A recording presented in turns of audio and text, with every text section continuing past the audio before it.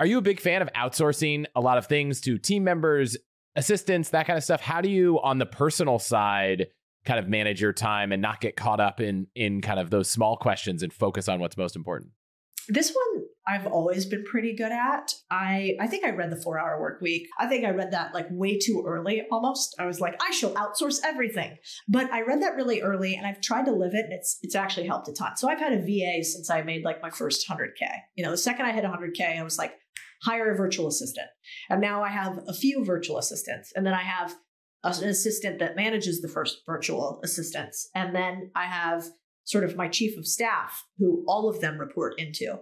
The the key though, I think, in delegation is realizing that you can only really have, in my opinion, five, max 10 people report to you directly.